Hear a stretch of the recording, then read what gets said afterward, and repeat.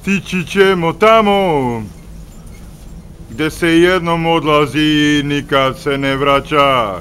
Svako će svoje grehe, grehe da plaća. A Jedi se vraća. Svi smo na mapi sveta. Ovo je eksperimentalna planeta na kojoj se gladuje i, i malo se raduje. Biće bolje.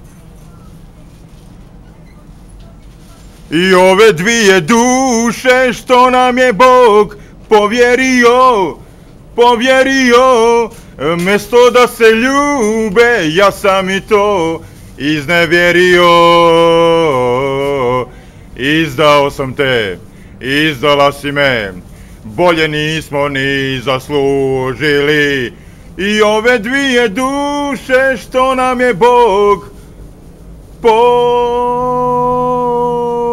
povjerio. Koliko sam blesav.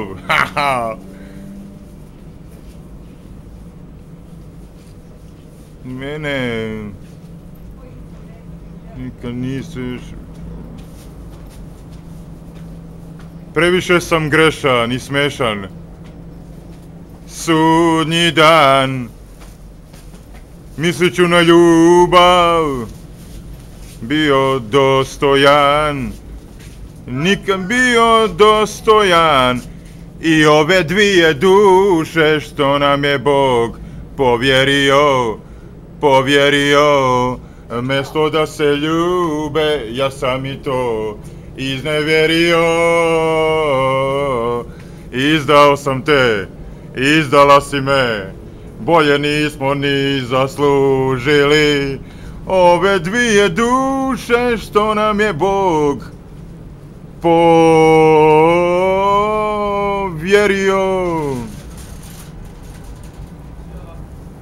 A svi traže sreću negdje tamo, a u sreće u, u čoveku.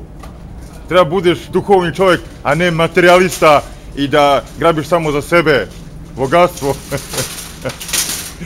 Daću ti pare ako si sam u, sa parama.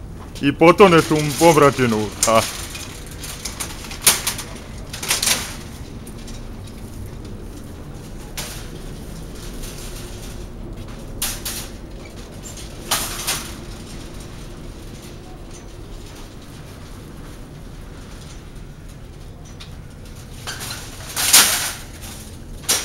Ove dvije duše što nam je Bog povjerio, povjerio, mesto da se ljube, ja sam i to iznevjerio.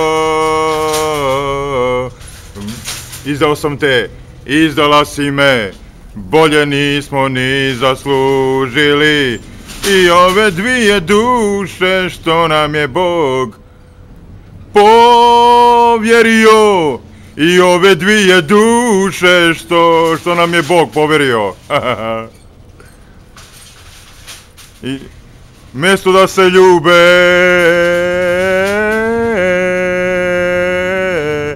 I ove, izdao sam te, izdala si me. Bolje nismo ni zaslužili. I ove dvije duše što nam je Bog po, povjerio. Ako izda Boga, izda i mene. Ako mene izda, on je kukavica i ne smije da stane pred Boga jer on je kukavica. Jer on je loš čovjek. Njega Bog odbaci. Kao Lucifera, što je bio na nebu pa je dole ga bacio Bog. Woo! Ja! Surovo, surovo!